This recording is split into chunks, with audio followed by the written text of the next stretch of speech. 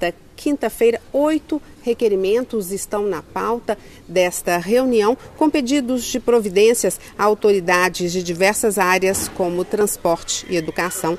Vamos acompanhar a reunião, que se inicia sempre pela leitura da ata da reunião anterior.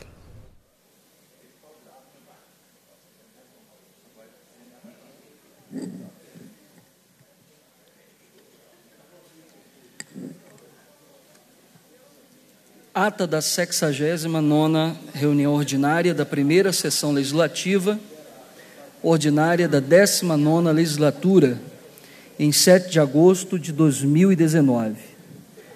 Presidência do deputado Antônio Carlos Arantes.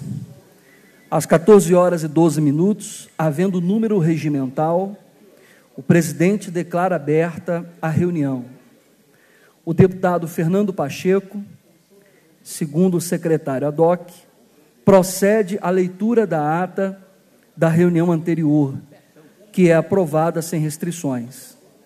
Não havendo correspondência a ser lida, a presidência passa a receber proposições e a conceder a palavra aos oradores inscritos para o grande expediente, quando lhes são encaminhados os projetos de lei números 917, 938, 957 e 980 de 2019.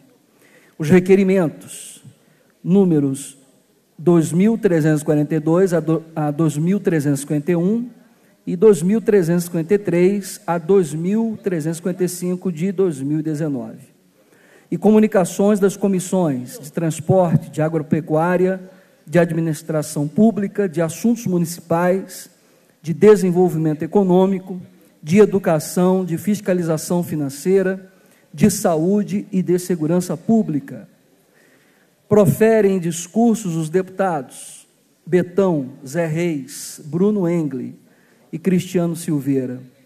Não havendo outros oradores inscritos, passa-se a segunda parte da reunião, em sua primeira fase, momento em que o presidente profere decisões, duas, determinando a anexação nos termos do parágrafo 2 do artigo 173 do Regimento Interno, do projeto de lei número 925 de 2015 ao projeto de lei 3968 de 2016, por guardarem semelhanças entre si, reformando despacho anterior e determinando que o regimento número 2294 de 2019 seja distribuído às comissões de administração pública para deliberação, em razão da natureza da matéria e da ciência das comunicações hoje apresentadas.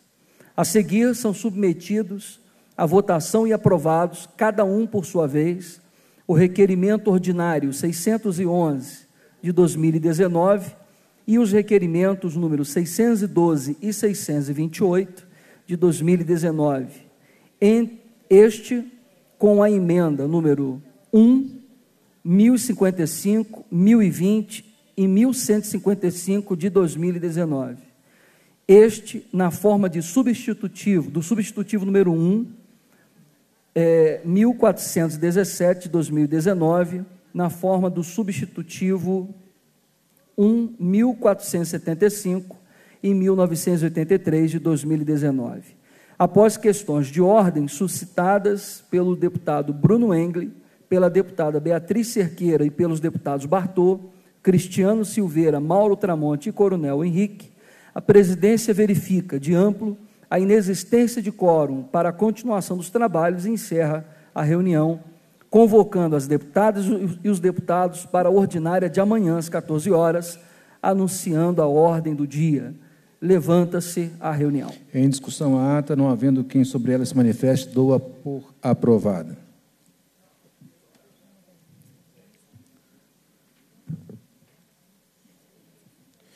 Não havendo correspondência a ser lida, a presidência passa a receber proposições e a conceder a palavra aos oradores inscritos para o grande expediente. Com a palavra, o deputado Sargento, Sargento Rodrigues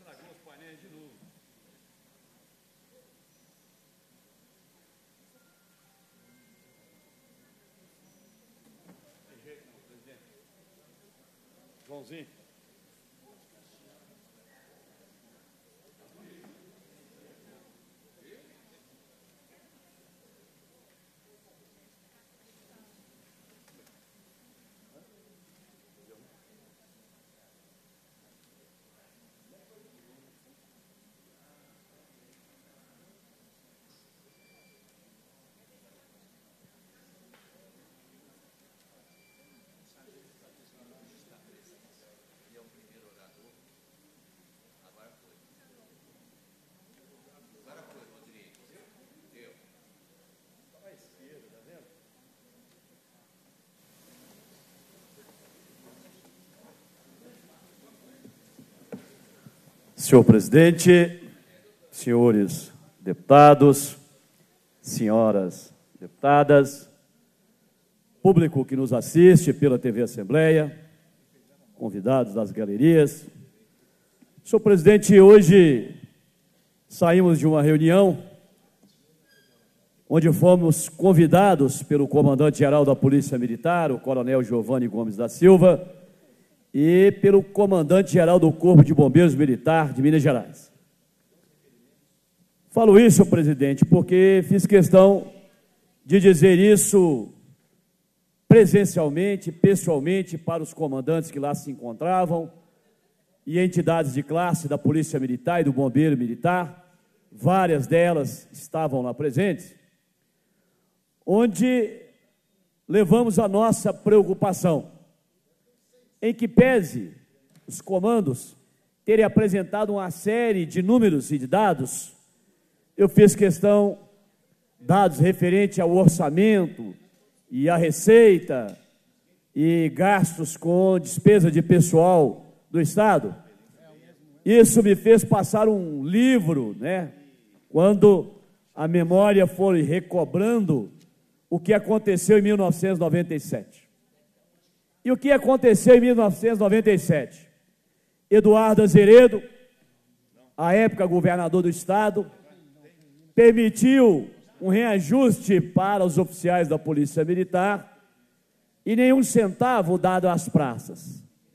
E naquela época, senhor presidente e senhores deputados, o que nós percebemos foi com a postura que o comando geral da instituição teve, era de dizer que estava tudo bem, que o salário não era, não estava defasado, que a situação era tranquila. E quando o comando assustou as tropas da Polícia Militar de Minas Gerais, aquela época, com 222 anos de instituição, ganhava as ruas da capital mineira pela primeira vez em toda a sua história. Hoje, senhor presidente, ao ver o comandante-geral do Corpo de Bombeiros Militar, tentar mostrar os números do Estado, a gente passa novamente este filme pela cabeça e dizer que essa, eu diria, essa estratégia e essa postura adotada, ela não reflete a realidade das ruas e dos quartéis. Não reflete a realidade daqueles que estão na ponta da linha, do bombeiro militar, do policial militar, do policial civil, do agente penitenciário e sócio-educativo. E, como sempre eu faço e sempre fiz, desde ainda quando era segundo sargento, quando participei da primeira comissão de negociação, em junho de 97, muito antes de chegar a esta casa, eu fui absolutamente sincero e transparente ao comandante-geral da Polícia Militar e do Corpo de Bombeiros Militar de Minas Gerais, olha, nós não sentamos à mesa com o governo e não discutimos dados do governo. Essa discussão, quem faz ela é o secretário de Planejamento e Gestão, o de Fazenda, com o governador. Nós não. O papel nosso, enquanto parlamentar, representante de classe, e das nossas associações e sindicatos é defender aqueles que não têm vez e não têm voz. E por que eu reafirmo isso, senhor presidente? Olha, agora dado o reajuste para de 16,58 aprovado pelo Congresso para os ministros do STF, para os procuradores federais, com repercussão imediata nos estados, para juízes e desembargadores, promotores e procuradores, conselheiros dos tribunais de contas, receberam 16,58. Algum membro da magistratura do Ministério Público quis discutir lei de responsabilidade fiscal? Quis discutir, senhor presidente, se havia dinheiro em caixa ou não? Não. Tanto é, senhor presidente, que os deputados federais e senadores resolveram não aplicar o reajuste para eles e não aprovaram, e por consequência, os deputados estaduais de todo o Brasil também não tiveram os 16,58. Graças a Deus, deputado Carlos Henrique. Graças a Deus que nós não tivemos aqui em Minas. Como iríamos explicar isso para o conjunto dos servidores públicos?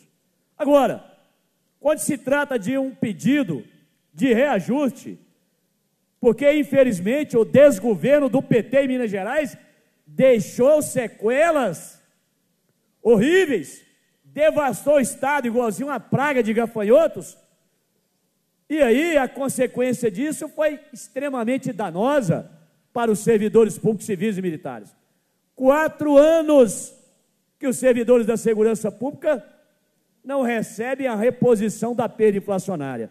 Eu pediria à nossa competente assessoria da mesa que pudesse trazer aqui para mim a Constituição da República e, se possível, já aberta no artigo 37. Não que eu desconheça o texto, mas é que eu quero fazer a leitura ipsis litris. Porque o artigo 37, inciso 10 da Constituição da República diz o seguinte: é assegurada a revisão geral anual. Tem quatro anos. E aí algumas pessoas falam assim, deputado, mas o governador Romeu Zema só tem oito meses que assumiu o governo. Quem assume o governo, senhor presidente? Assume bônus e assume ônus. Então, senhor presidente, o que diz Aqui agradeço a assessoria. O que diz o inciso 10? A remuneração dos servidores públicos e os subsídios que trata o parágrafo 4 do artigo 39 somente poderão ser fixados ou alterados por lei específica, observada a iniciativa privativa de cada caso, vírgula, assegurada revisão geral anual, sempre na mesma data e sem distinções de índice. Olha, foi dada a reposição da perda inflacionária, senhor presidente, para juízes, desembargadores, promotores, procuradores e conselheiros do tribunais, do Tribunais de Contas do todo o Brasil. E o restante dos servidores? Nada. Quatro anos sem a reposição da perda inflacionária. Três anos e meio de um maldito parcelamento. E por que falamos maldito parcelamento, senhor presidente?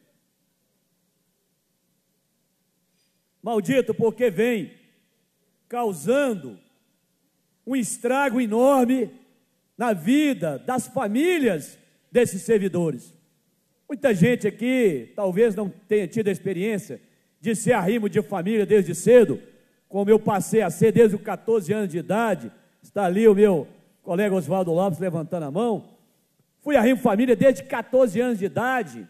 Minha carteira foi assinada com 15 anos de idade. Então nós sabemos perfeitamente o que é que ter que ir à mercearia, muitas vezes comprar fiado, ou às vezes fazer uma compra no supermercado de itens absolutamente necessários, sem nenhum tipo de material ali seu pé, porque o dinheiro não dá, de ter que trabalhar e tomar conta para não faltar nenhum dia de serviço, mesmo doente, para poder não ter desconto e ter o dinheiro para pagar aluguel o gás, a luz, a água.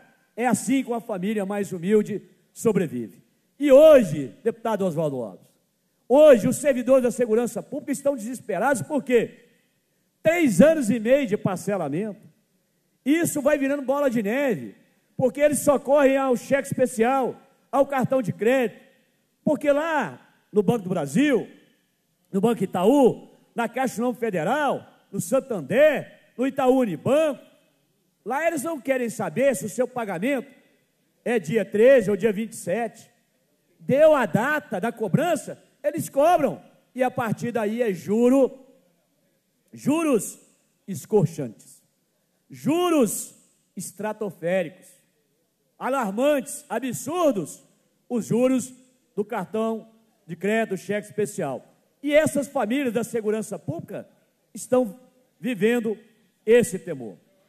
Com os três anos e meio de parcelamento, deputado Oswaldo Lopes, houve ali uma bola de neve, um prejuízo enorme. Então, o que eu quero trazer aqui, senhor presidente,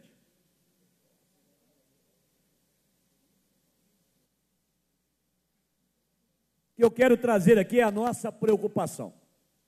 Dia 22 de agosto, a partir das 14 horas, está marcada uma mega manifestação na cidade administrativa, onde os servidores da segurança pública não abrirão mão do seu direito, porque a Constituição, deputado Oswaldo Lopes, deputado Gleitinho Azevedo, ela não pode ser uma letra morta. Porque se juízes embargadores, promotores e procuradores tiveram um reajuste de 16,58, aliás, reposição de perda inflacionária, como é que o restante dos servidores que ganham muito menos, como é o caso do soldado, que ganha 4 mil reais bruto e ganha 3.400 líquido, como é que essa pessoa vai ficar quatro anos sem a reposição? O constituinte originário, o constituinte originário foi aquele deputado Cleitinho Azevedo que escreveu a Constituição, lá em 1988. Quando ele coloca aqui no inciso 10 do artigo 37, assegurada a revisão geral anual, foi o que nós chamamos de gatilho para a reposição da perda inflacionária. Então, hoje, são quatro anos do salário, quatro, aliás, 25%, com quatro anos sem reposição de perda inflacionária, acumulando uma perda de 25%, que é um quarto do salário do servidor, corroídos pela inflação. Então, dia 22 de agosto, senhor presidente, está marcada uma gigantesca manifestação. Tem caravanas vindo de todas as partes do interior do estado. E eu já provei um requerimento, inclusive, para que a Comissão de Segurança Pública acompanhe a manifestação e participe da mediação junto ao governo, até para assegurar os direitos, deputado Cleitinho Azevedo, que são cláusulas pétreas da Constituição da República, que são intocáveis, que são normas de eficácia plena, de aplicação imediata, que é o direito de reunião, de manifestação, que é o direito de greve, que está aqui petrificado nos direitos e garantias fundamentais da Constituição da República. Então nós estaremos lá, senhor presidente, dia 22 de agosto, a partir das 14 horas, em nome da Comissão de Segurança Pública, para acompanhar a manifestação, para mediar. Mas eu deixo aqui um recado, um recado para o governador Romeu Zema. Governador Romeu Zema, em 20 anos de mandatos, e obviamente o que antecedeu 97, que eu participei diretamente com o governo de uma negociação, antes da minha expulsão da Polícia Militar na greve 97, ainda como segundo sargento ativa, deixar um recado aqui para o governador Romeu Zema. Governador Romeu Zema, eu disse para o senhor, o dia que o senhor colocou o pé aqui, na nossa posse, eu vim aqui cumprimentar o senhor e disse ao senhor, governador Romeu Zema, peguei na mão do governador, deputado Oswaldo Lopes, Cleitinho Azevedo, e disse: priorize os servidores públicos, porque são eles que carregam a máquina pública. Se o professor não está em sala de aula, não tem aula. Se o bombeiro não está lá em Brumadinho, não tem socorro às vítimas. Se o policial civil não está lá para concluir o inquérito e mandar para a justiça, não há justiça, não há punição. Se o médico, a enfermeira não está lá no Hospital João 23, não tem ninguém para cuidar da saúde. Se o policial militar não está nas ruas, patrulhando 24 horas por dia, em 853 municípios e 197 distritos, não tem segurança pública nesse estado. Então, governador Romeu Zema, priorize os servidores públicos. E olha, a reunião que eu já tomei conhecimento, que o secretário de Planejamento e Gestão vai nos chamar para segunda-feira, dia 12, às 8 horas da manhã, doutor Otto Levi, secretário de Planejamento e Gestão, não venha com a frieza técnica de tentar trazer números que este deputado e o conjunto das, das, dos, dos deputados que representam a classe segurança pública e as nossas entidades de classe, nós não discutimos números com o governo. Essa discussão o senhor faz internamente. Nós discutimos é a condição social e humana dos trabalhadores da segurança pública.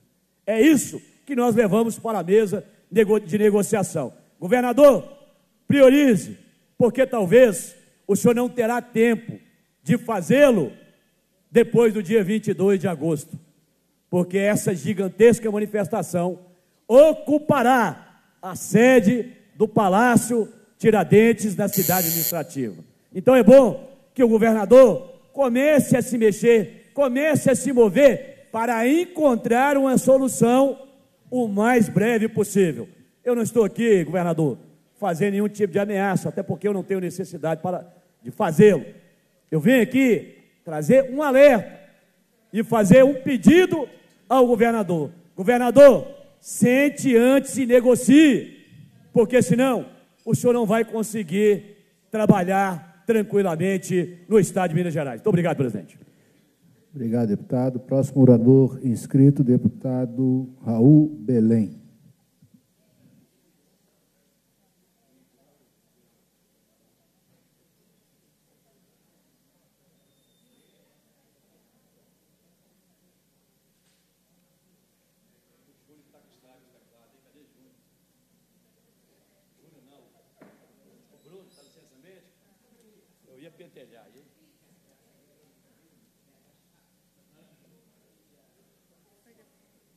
Caro presidente, senhoras deputadas, senhores deputados, servidores dessa casa, público que nos assiste pela TV Assembleia, é, eu quero estar em primeiro lugar fazendo, reforçando o convite a todos os deputados para a nossa audiência pública do dia 14, que vai dar na próxima quarta-feira, onde nós vamos tratar do programa Transforma Minas, que foi criado pelo governo do Estado para preencher é, vagas é, de cargos comissionados em superintendências nas regiões de Minas Gerais.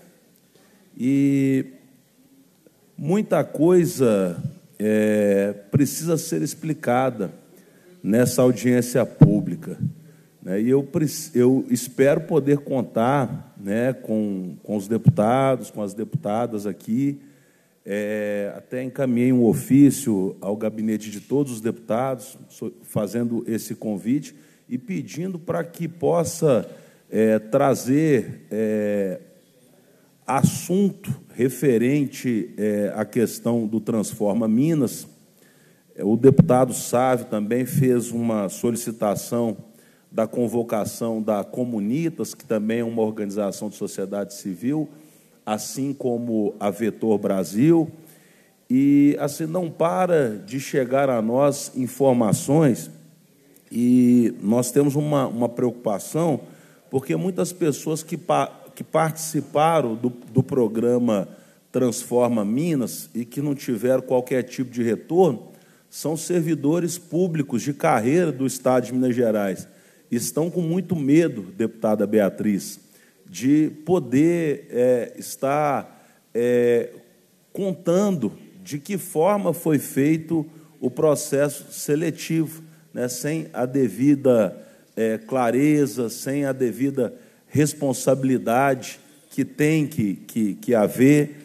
Né? Então, assim, a gente se preocupa muito com toda essa situação e espera né, a presença do Ministério Público Estadual aqui, é, a presença aí principalmente do cidadão, o cidadão, é, deputado Zé Guilherme, que de toda é, boa, boa intenção, com toda a fé, acreditou que pudesse fazer, participar de um processo seletivo, um processo seletivo que fosse feito dentro da, da, da, da maior transparência.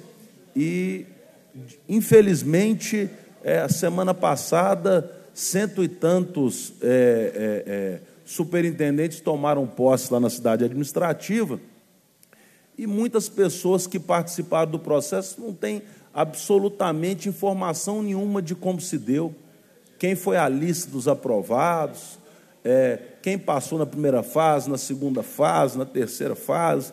E trago aqui também, é, pela, pela experiência de estar re, realizando essa audiência, a dificuldade de manter contato com essa organização da sociedade civil. Difícil demais é a, a, a organização que é parceira do governo e a gente não sabe é, de que forma se deu essa parceria, nós não temos é, é, conseguido praticamente nenhum contato com essa organização. Agora, o mais grave ainda, deputado Dorgal, é nós não recebemos informação por parte do governo do Estado. Nós encaminhamos no dia 4 de julho é, um pedido de informação para a Secretaria de Planejamento sobre essa audiência pública que vai haver dia 14. Já faz mais de um mês. Dia 14 nós teremos audiência pública e nenhuma resposta foi dada a este deputado, a esta casa e à comissão que este deputado pertence. Então nós ficamos assim, extremamente preocupados. O, o deputado Dorgal está colocando aqui é, é, é, uma, uma preocupação né, falando, ó, imagina o deputado que ainda não é da base, se referindo, porque eu faço parte do, do, do bloco da base do governador, né, mas nós estamos aqui para fazer uma cobrança e não deixaremos de fazer de forma alguma, assim como nós, deputada Beatriz, vamos estar aqui de forma veemente defendendo a CEMIG, que é um patrimônio do povo de Minas Gerais, que é um patrimônio que precisa ser respeitado, e o que nós estamos observando hoje é que o próprio presidente da CEMIG não respeita a companhia, tem desvalorizado a companhia. Será que ele fazia isso quando ele era presidente da Fiat? Será que ele tratava a Fiat como um, um, um, um problema para tirar das costas? Então, infelizmente, nós precisamos falar aqui nessa tribuna todos os dias porque a CEMIG não tem culpa de nada. Muito pelo contrário, a CEMIG não tem culpa porque a energia de Minas Gerais é cara.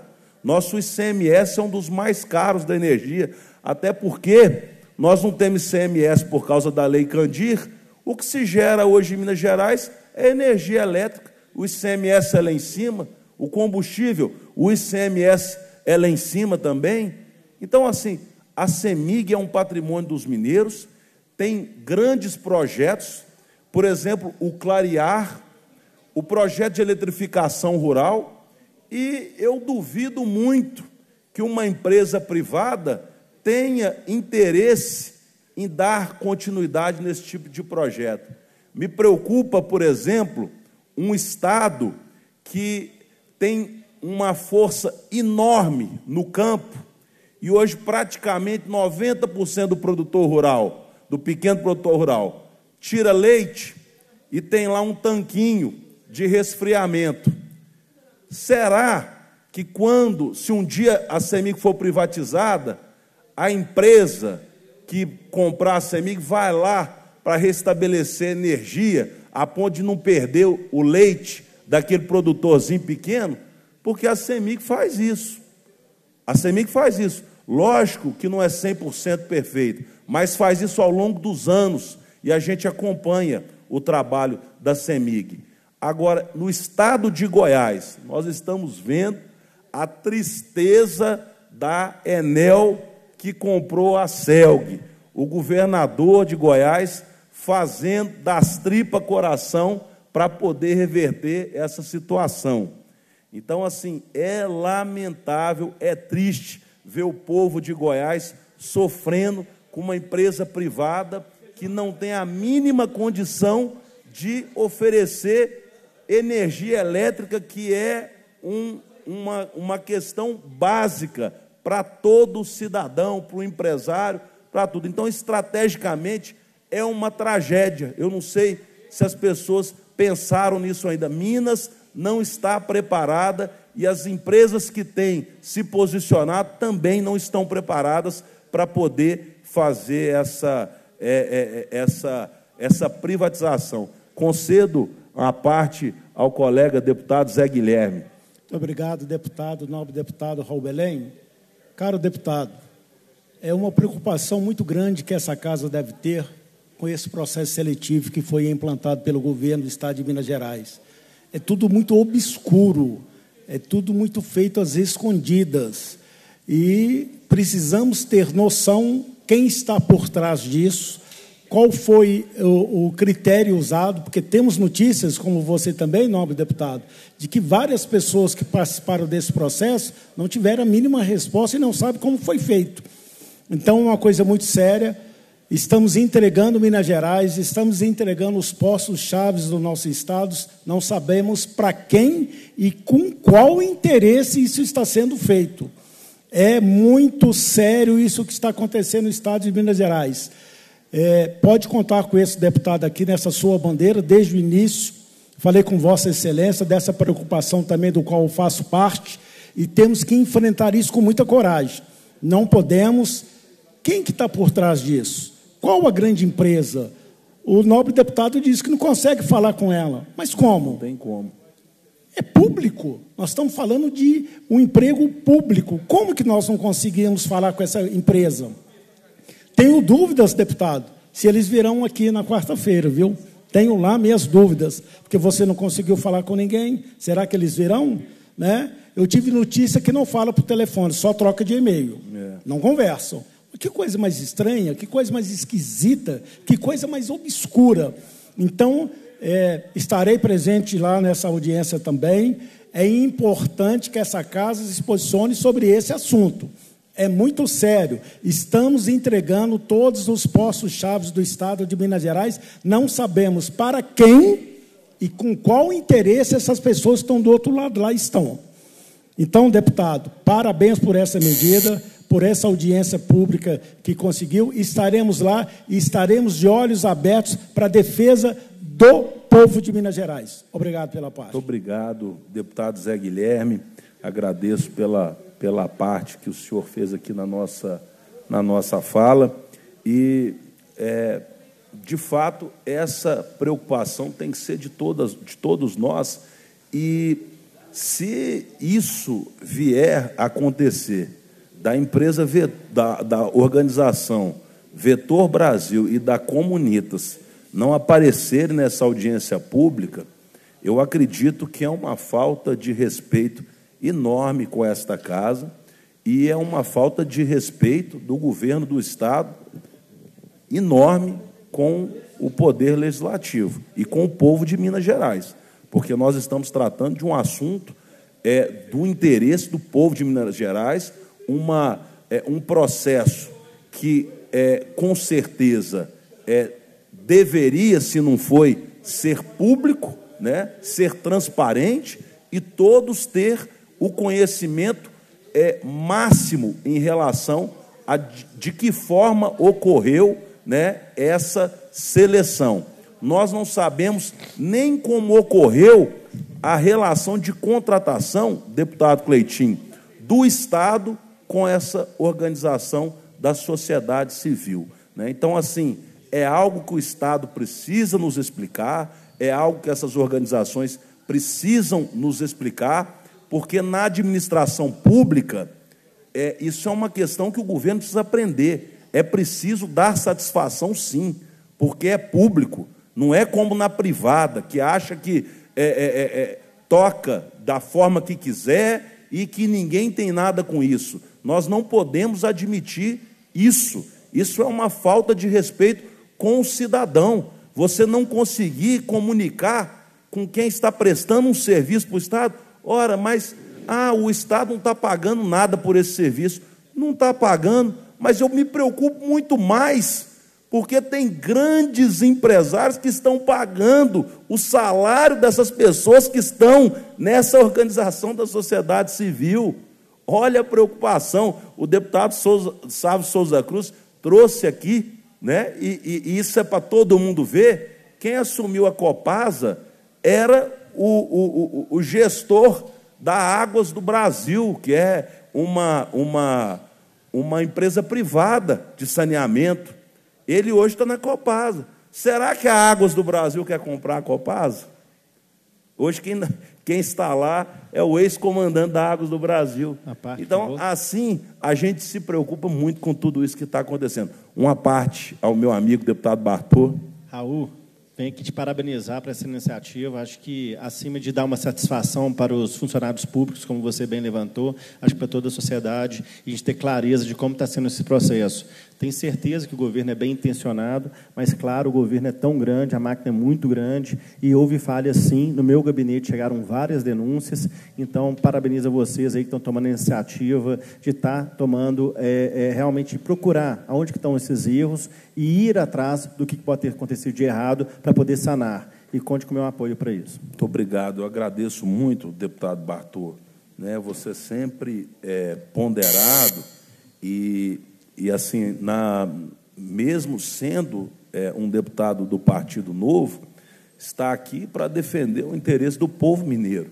Né? Então, nós não podemos confundir as coisas. Nós não somos é, empregados do governo, nós somos empregados do povo de Minas Gerais.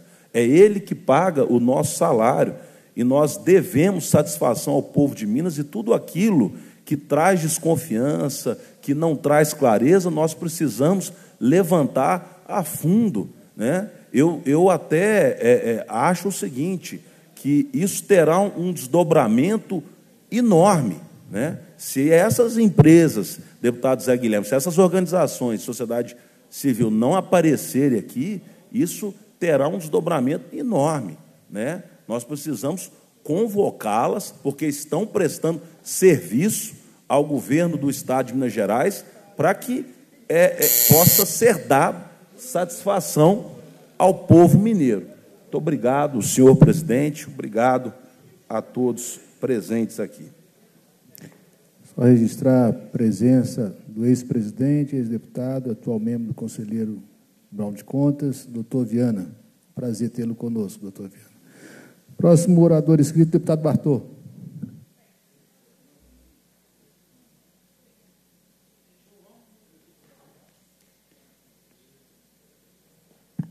Boa tarde, caros colegas.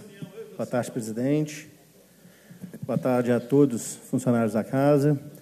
É, hoje eu venho aqui com muita tristeza levantar um fato que aconteceu no final da semana passada de extrema brutalidade, que foi o assassinato de um senhor de 87 anos, que teve a casa invadida durante a noite. A pessoa que entrou em Brutamontes, é, não só satisfeito em espancar o idoso, também estuprou o idoso de 87 anos. E, e isso foi, todas as cenas foram gravadas, porque era um senhor debilitado, que sofria de mal de Parkinson, e a sua família tinha essa preocupação por ele, tinha é, câmeras dentro da casa. O que, o que deixa mais estarrecido é ver como que nossa sociedade ainda está é, à mercê de casos como esses. E, no caso, o, o bandido, o criminoso, não tem nem o inescrupuloso, o animal, não tem nem palavras para poder descrever é, tamanha brutalidade, é, já, já era reincidente, fez um crime parecido com outro idoso de 97 anos, estava foragido e dessa vez ele foi, foi pego é, e está preso na penitenciária lá de Montes Claros. Então, é, o que eu venho defender aqui hoje é a pena de morte.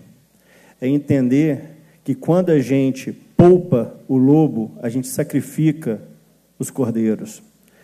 Um senhor, um bandido, né, um, um animal, que fez o que fez com o senhor de 97 anos, já era o suficiente para estar preso, não ter sido solto hora nenhuma, e infelizmente, pela falha da justiça, ele pôde cometer mais um crime, esse crime, é, essa atrocidade, né?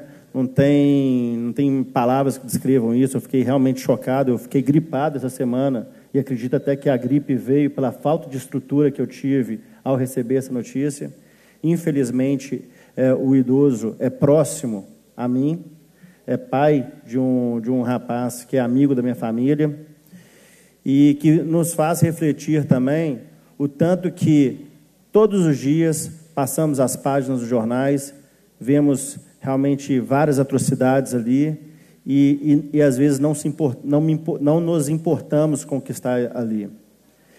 E às vezes, quando chega uma pessoa, não, eu não tenho tanta proximidade assim, não conhecia, e, e o próprio filho dele é, tem recordações de quando era pequeno, então não tenho tanta proximidade. Na época de campanha eu, eu tive com ele, me atendeu muito bem, a gente rodou bastante ali em Montes Claros, então tenho um pouco convívio com ele, mas o que me machucou profundamente foi sentir a realidade daquele crime, né? E ver como que a gente passa página, passa página, passa página no jornal, vê noticiário e não nos importamos com aquilo que está acontecendo lá. A gente não se indigna mais com o que está acontecendo lá. Talvez esse crime que parou Montes Claros, Montes Claros toda ficou indignada com ele. Será que vai cair em esquecimento daqui a seis meses? Será que vai ter justiça para esse bandido, para esse animal que está preso lá na penitenciária? Então, eu venho aqui fazer um forte apelo para as autoridades responsáveis pelo, pelo presídio, pela penitenciária, que não deem nenhum tratamento especial para esse animal. Que deixe é, esse bandido realmente junto a uma cela comum e ele que se entenda com os outros detentos lá na penitenciária. Porque uma pessoa dessa não merece nenhum tratamento especial, não merece o respaldo do Estado que faça qualquer coisa para prevenir qualquer coisa que possa acontecer com ele. E voltando aqui novamente, o Estado precisa rever se, são, se podemos ou não fazer pena de morte. É muito triste falar que um Estado vai ter é, é, a decisão sobre a vida de uma pessoa, principalmente no Estado em que a gente entende é que tem muitas falhas, que acontecem muitas falhas, né? Que se façam regras, então, mais, mais claras. Reincidência, por exemplo. O raio não cai duas vezes no mesmo lugar. Se a pessoa fez um crime que é digno de perder a vida por ele, que prenda ele, que mantenha ele na cadeia, e que quando ele cumprir lá a pena dele, ele sai novamente, ele der o azar de cometer novamente, né, de, de, né, não existe esse negócio de azar, né? deu azar duas vezes, então que seja uma reincidência, então que venha a pena de morte. Porque quando você não mata um animal como esse, esse animal mata toda uma sociedade. Montes Claros, Montes Claros não é mais a mesma nessa semana que passou. Muitas pessoas de sofrimento. Eu fiquei totalmente desestruturado uma manhã inteira. Perdi a cabeça, não, não sabia o que falar direito. Não, peguei minhas malas, estava em São João del Rei, peguei minhas malas para poder ir para Montes Claros, entrei no carro no meio da estrada que eu vi que não dava tempo de chegar, que não fazia sentido, voltei, né? Estava com meu filho, não consegui nem, nem dar atenção para ele direito. Ligando para o comandante, que me atendeu muito bem. Ligando para a responsável da penitenciária, que também me atendeu muito bem. E fico imaginando, então, como é que fica a família desse, desse idoso. Todo mundo aqui tem pai. Como que você ficaria se soubesse que seu pai foi brutalmente assassinado assim? Acabaria com sua vida acabaria com a vida dos seus netos, acabaria com a vida de todo mundo em volta. Então, por que o Estado ainda insiste em proteger a vida desses animais? Não é culpa do Estado que existem animais como esses. Infelizmente, a natureza é assim. Tem coisas que não são inexplicáveis, mas estão lá. E não tem por que a gente conseguir ficar buscando de por que está lá, por que está lá, como que pode melhorar. Simplesmente tem coisas que não tem como melhorar. Simplesmente tem coisas que realmente a gente tem que sacrificar pelo bem maior de outros.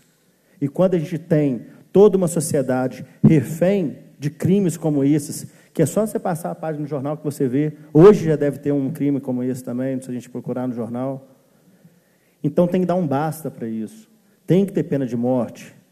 Tem que ter, tem que tirar essas pessoas que colocam tão em risco a nossa sociedade.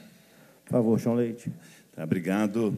Queria solidarizar né, com o sentimento que você demonstra para nós aqui, e nós sempre imaginamos como, como você já disse, a família nesse momento.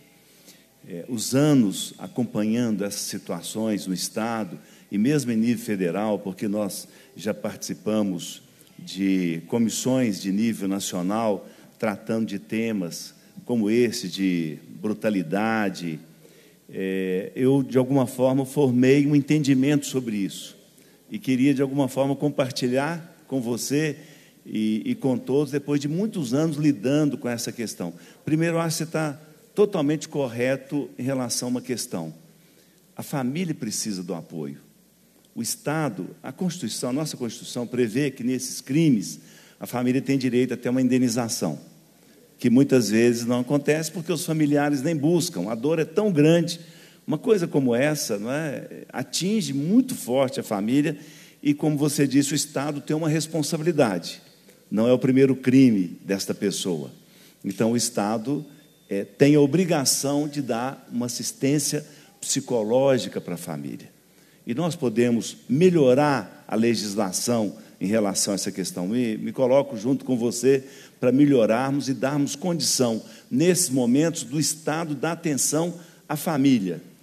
Como você disse, nesse momento, para juntar os cacos da família, é algo assim, é, quase que impossível se não tiver uma ajuda técnica, uma ajuda especializada, uma ajuda médica para ajudar essa família.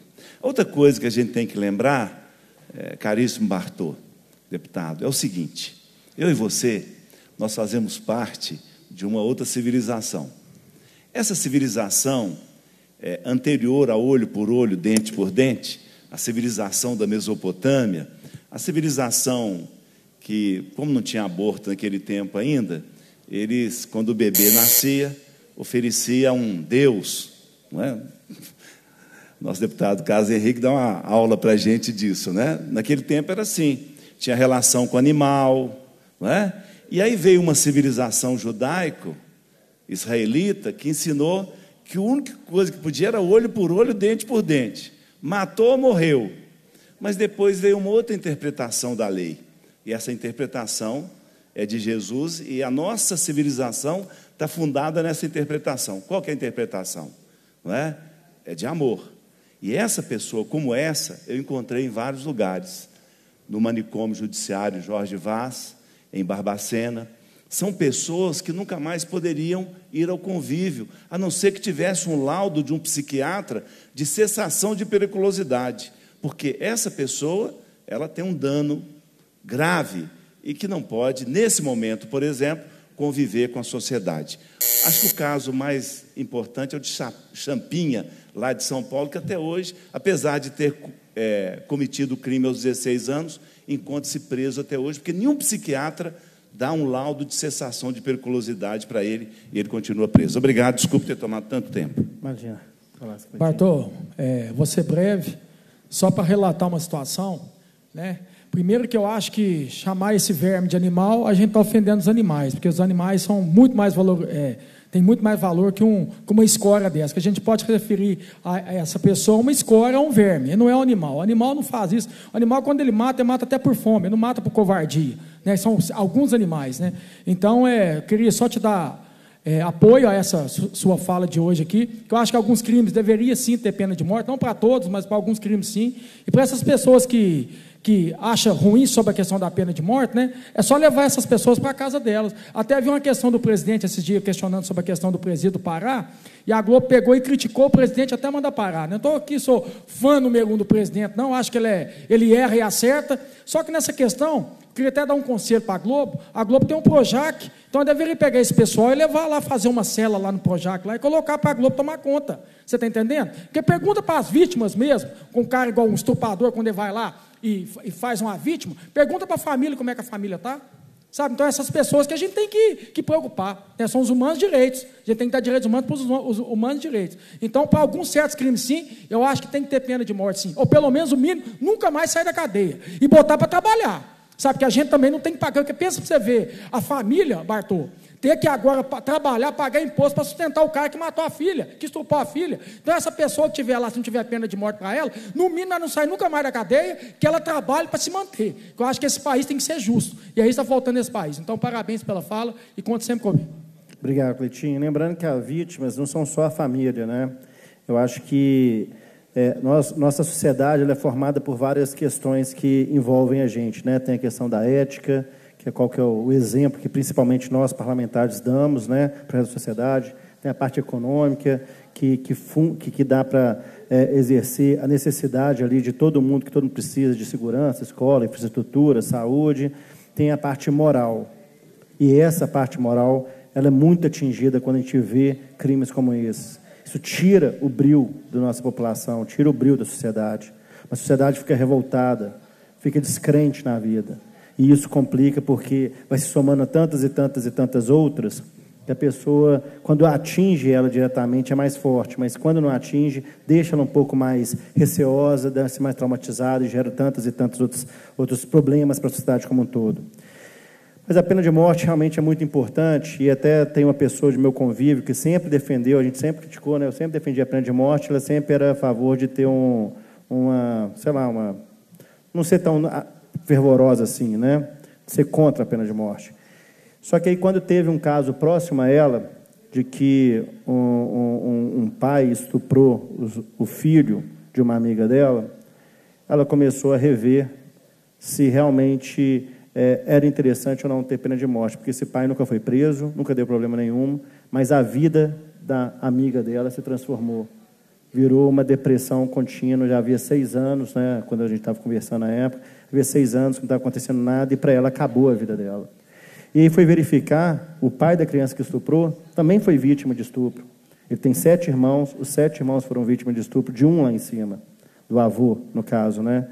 Então é isso que eu falo, gente. Não dá para poupar o lobo. A gente sacrifica os cordeiros. Se tivesse matado aquele cara lá em cima, ele não teria feito um crime com sete crianças, que essas crianças não teriam se traumatizado e ter feito outros crimes, tantos outros crimes e tantos outros crimes. Então é importante a sociedade rever quais valores são mais importantes.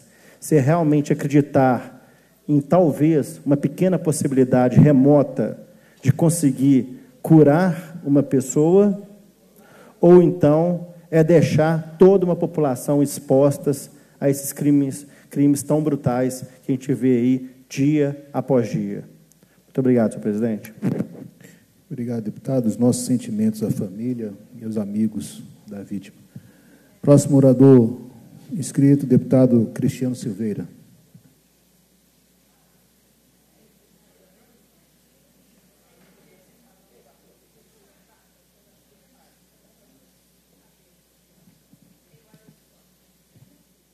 Senhor presidente, colegas deputados, o que me traz à tribuna aqui no dia de hoje, presidente, é falar sobre as questões ambientais do nosso país.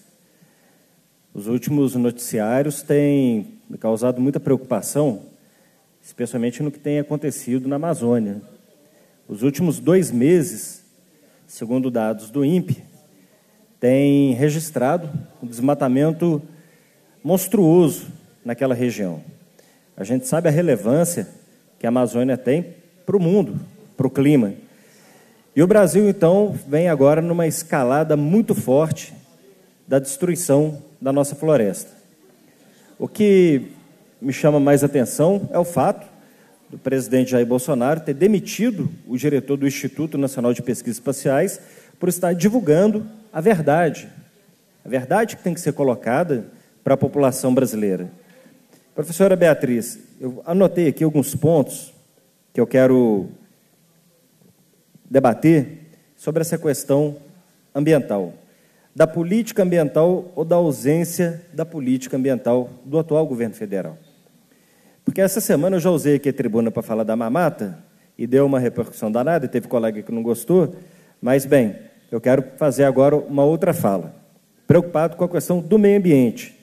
Nós temos em Minas Gerais muitos ativistas nas causas ambientais.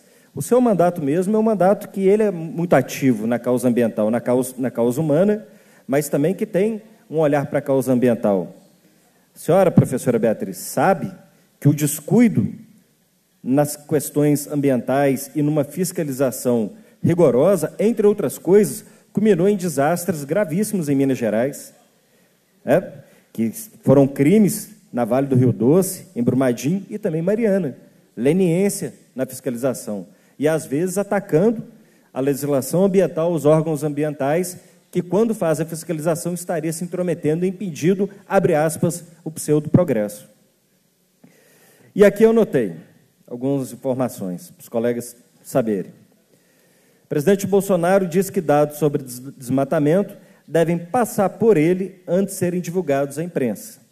Não ficou satisfeito com a repercussão, inclusive internacional, dos dados sobre desmatamento. O presidente Bolsonaro quer resolver o problema da seguinte maneira: se o IBGE fala que o desemprego está alto, ele não cria uma política para gerar emprego. Ele vai acabar com a metodologia de pesquisa. Se o INPE fala que o desmatamento está aumentando, ele acaba com o INPE, para poder não ter metodologia, não ter informação. Então, ele não ataca o problema, ele ataca o dado. Desmatamento na floresta amazônica cresceu de 67% em 2019, de acordo com a Agência de Pesquisa Espacial, e só no mês de junho o aumento da destruição foi de 88% em comparação ao mesmo mês de 2018. Esse, essa irresponsabilidade com a Amazônia coloca em risco o chamado Fundo da Amazônia, que são recursos que o nosso país recebe da Noruega e da Alemanha só da Noruega, para vocês terem uma ideia, nós estamos falando mais de 3,4 bilhões de reais. Da Alemanha, mais 200 milhões de reais. Recursos que devem ser utilizados na preservação, na manutenção da floresta. Com isso tudo, o presidente se auto-intitula de maneira irônica como capitão motosserra. Foi registrada a destruição de 2.255 quilômetros quadrados na Amazônia em julho, crescimento de 304%, de acordo com o INPE. A área, para vocês terem uma ideia, é a maior registrada nos últimos anos e corresponde ao território de Luxemburgo. Multas do IBAMA caíram em média 23%, comparado com os últimos cinco anos. Foram cerca de 5.800 autuações em seis meses. No primeiro semestre de 2018, já foram mais de 7 mil, para se ter uma ideia. As operações de fiscalização do IBAMA caíram 58% esse ano, na Amazônia, redução de 77% nas ações de combate ao desmatamento. Por falar em, em IBAMA, presidente Bolsonaro, que havia sido multado pelo IBAMA por pesca irregular na região de Angra dos Reis, teve a sua multa suspensa e o funcionário que aplicou a multa foi exonerado. Muito bem. Os absurdos continuam. O oceanógrafo José Martins da Silva Júnior analista ambiental em Fernando de Noronha e coordenador de um projeto de preservação de golfinhos no arquipélago, foi removido do seu cargo no Instituto Chico Mendes de Conservação da Biodiversidade e transferido para uma unidade de conservação, sabe aonde? No sertão pernambucano, contra o seu interesse. Você tira um biólogo, um oceanógrafo renomado, com um projeto importante na região de Fernando de Noronha, e por retaliação manda para o sertão pernambucano. O que vai fazer o oceanógrafo no sertão pernambucano? Ele é um dos críticos de aumento exponencial da visitação em Fernando de Noronha, que está acima do limite permitido. Como todos sabemos, o presidente Bolsonaro quer transformar a região numa região de grande exploração econômica com turismo, mas sabemos que a consequência será o dano ao bioma, o dano ao, ao meio ambiente. Outra fala do governo do presidente Bolsonaro é o quê? Acabar com a estação ecológica de Tamoios, em Angra dos Reis, na costa verde do Rio, que é recentemente reconhecida pela Unesco como uma área de interesse ambiental e patrimônio mundial, a região onde ele propõe abrir a exploração turística e transformá-la na Cancún brasileira. Não sou contra que o país tenha áreas de forte é, movimento e fluxo turístico. Para isso, as belas praias do Rio de Janeiro, da Bahia e de todo o Nordeste e também do Sul podem cumprir muito bem esse papel. Agora, por que você utilizar de uma área de interesse ambiental para transformar numa região de exploração agressiva de maneira turística? E vamos continuar. O governo Bolsonaro disse que um grupo de estudo vai ser formado para a revisão de 334 unidades de conservação no país, das quais 190 já foram, foram criadas no governo do, do PT, segundo eles, porque não tinha critério. O ministro Ricardo Salles solicita o IBAMA que revisem o parecer técnico sobre o Parque Nacional de Abrolhos, na Bahia. O objetivo da revisão é autorizar o leilão de campos de petróleo. Ele aponta que a área tem relevância estratégica do tema e a região de Abrolhos, nós sabemos, é uma área importantíssima da preservação de diversas espécies, algumas inclusive ameaçadas de extinção. Deputado professor Oswaldo está aqui, um grande lutador pelas causas da defesa dos animais. E quando a gente fala dos animais, aqueles que são domésticos, do nosso convívio, professor, como os nossos cães, os gatos, algumas aves, mas também os animais que são fundamentais para a manutenção do ecossistema do nosso país. A região de Abrolhos ela é fundamental no controle também ambiental. E se deixar por conta do ministro Ricardo Salles, aquela área tem que se transformar numa área de exploração de petróleo. Pois não, deputada Beatriz? Deputado Cristiano, boa tarde. Presidente, boa tarde. Me permita antes, deputado, porque, na verdade, Vossa Excelência acabou contribuindo com o momento de formação. Nós estamos aqui na galeria com vários estudantes, então receba aí o nosso abraço é, aqui conosco, porque puderam ter a oportunidade de escutar informações muito relevantes. Está num momento, gente, é, que não necessariamente todas as notícias são verdadeiras, né? É o que eles chamam de fake news. Então, a importância de nós termos uma fala, como a do deputado Cristiano Silveira, que está fazendo uma síntese importantíssima sobre o meio ambiente, os impactos e todas as informações que ele está nos trazendo são reais não são notícias falsas, ditas por alguém que quer desviar sobre a real discussão do que a gente precisa defender. Então, obrigada pela presença de vocês, que muito engrandecem aqui o cotidiano e o trabalho da nossa Assembleia Legislativa. Então, muito oportuno a escuta da sua fala. Eu motivei a contribuir nessa sua intervenção, deputado, por duas questões. A primeira, quando nós falamos sobre fiscalização, sobre o combate a essas formas de corrupção que acontecem em relação ao licenciamento, ao desmatamento, é fundamental o fortalecimento dos serviços públicos. Não adianta nós colocarmos lá hashtag mais fiscalização e não defendermos concursos públicos. Não adianta fazerem belíssimos discursos em favor ah, de uma rigorosa fiscalização se nós não respeitarmos e não tivermos servidores públicos que, exatamente por serem concursados, nomeados, terão a isenção necessária para a atuação. Atuação do presidente Bolsonaro, que todo mundo que pensa diferente dele, ele vai eliminando, né? vai exonerando, vai tirando do cargo, vai transferindo. Isso é uma demonstração, ao inverso daquilo que eu estou dizendo, da importância de nós termos servidores que se comprometam com o Estado Pessoas que se comprometam com este cotidiano da fiscalização e não são servidores que vão dizer o que o presidente quer ouvir, o que o governador quer ouvir, o que, que o prefeito quer ouvir. Por isso, a importância dos concursos públicos. E me permita, para finalizar, lembrar que o governo Zema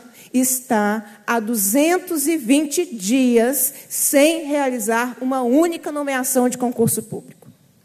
2019, nós não tivemos nenhuma nomeação de concurso público, temos professores, professoras, trabalhadores em educação da rede estadual que passaram em concurso dentro das vagas divulgadas no edital e até este momento nenhuma nomeação foi feita. Então eu quero reiterar a importância do concurso dos seus servidores e cobrar do governador Romeu Zema, que tem a identidade com o governo Bolsonaro, que faça nomeação de todos os aprovados do concurso para todos os cargos vagos existentes. E por fim, fim, deputado Cristiano, me permita fazer aqui uma convocação.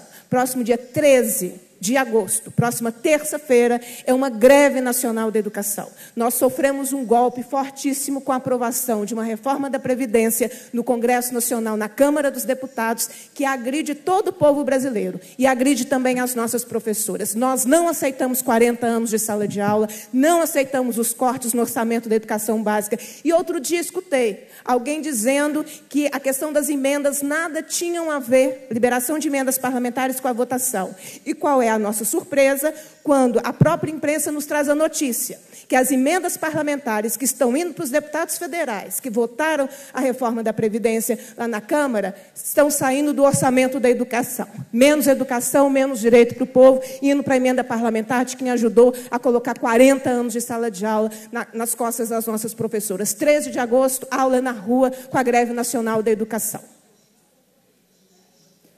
Obrigado, professora Beatriz. Deputado Cristiano, só um segundo, pois só não, fazer o registro da presença na galeria dos alunos do quinto ano do Colégio Glória Andrade da cidade de Contagem. Sejam, sejam bem-vindos sempre a esta casa do povo.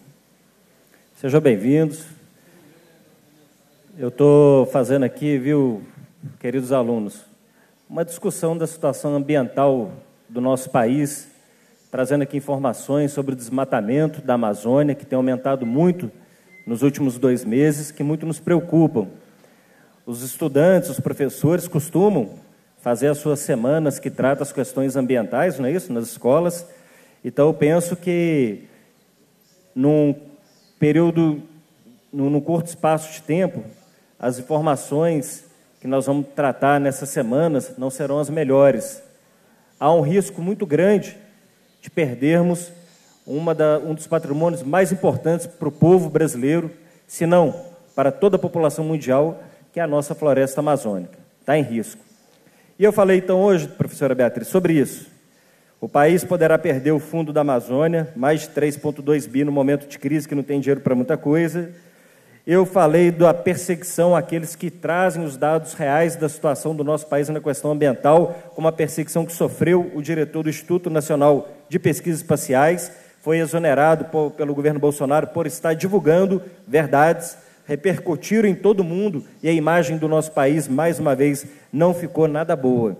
Eu falei aqui sobre os problemas relacionados à região de Abrolhos, onde o ministro Ricardo Salles quer rever aquela região como área de proteção para que se faça exploração de petróleo, colocando em risco diversas espécies da vida marinha, uma região importante.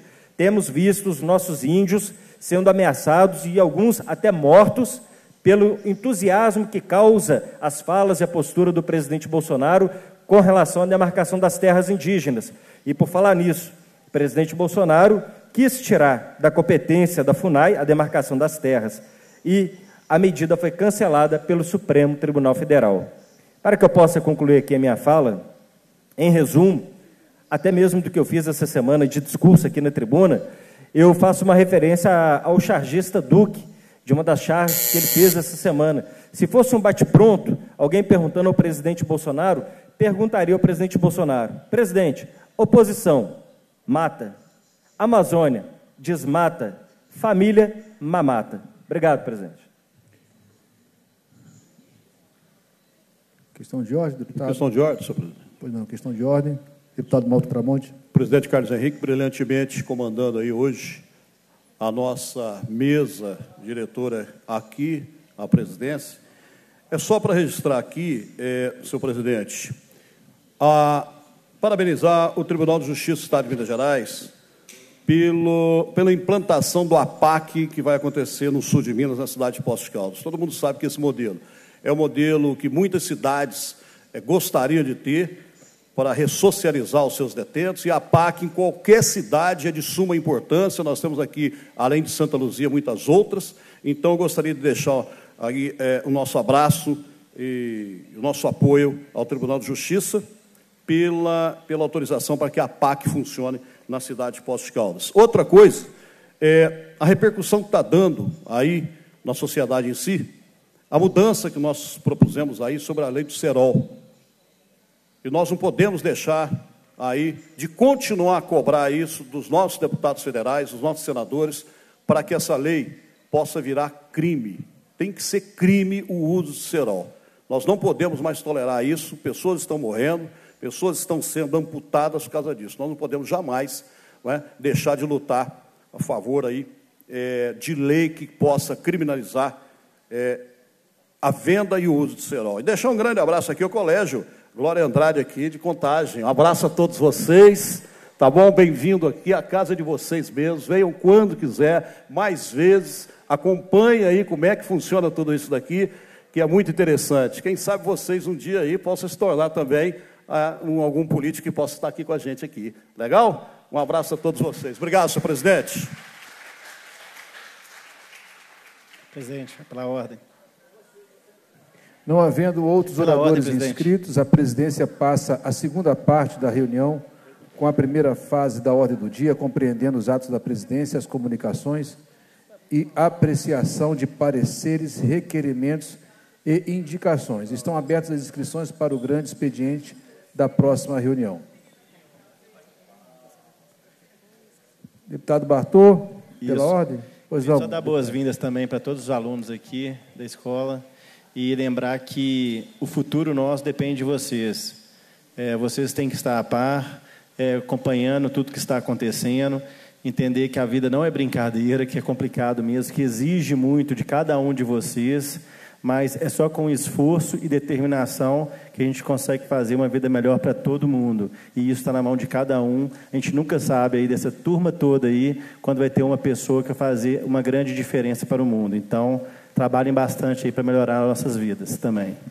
E rebater aqui a Beatriz, no caso que ela da, da- do- do- do- do- dos concursados, das nomeações, é, brevemente, né, a gente sabe as dificuldades todas que o governo tem com a questão financeira, do jeito que o Estado está, né, mas brevemente teremos ótimas notícias para os nomeados. Podem deixar eles bem animados aí, que se Deus quiser, é, até aí, talvez, semana que vem ou daqui a duas semanas, possam estar aí comemorando uma boa notícia.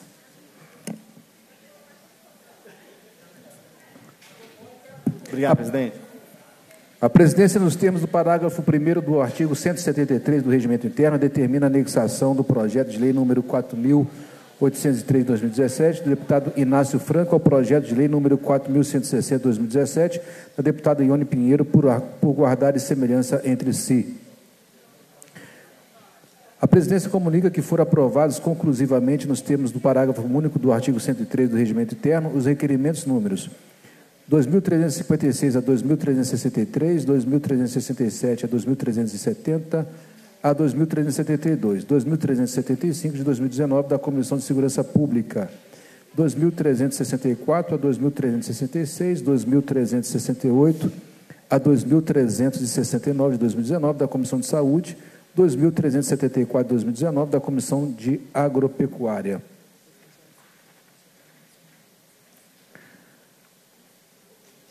As comunicações permanentes comunicam, as comissões permanentes comunicam a apreciação conclusiva de matéria nas seguintes reuniões. Comissão da Pessoa com Deficiência, reunião ordinária de 6 de 8 de 2019, e Comissão de Cultura, reunião ordinária de 7 de 8 de 2019. Comissões de Cultura e de Defesa do Consumidor, reuniões extraordinárias de 7 de 8 de 2019, ciente publique-se. Requerimento sujeito a despacho do presidente, requerimento ordinário número 345 de 2019 do deputado Mário Henrique Caixa e outros, solicitando a convocação de reunião especial para homenagear o Galo Futebol Americano pela conquista do título brasileiro de futebol americano. A presidência defere o requerimento de conformidade com o inciso 21 do artigo 232 do Regimento Interno. A presidência encerra a reunião e convoca as deputadas e os deputados para a especial de segunda-feira, dia 12, às 20 horas, destinada a homenagear a SEASA Minas pelos seus 45 anos de operação. Levanta-se a reunião. Você acompanhou a reunião ordinária desta quinta-feira.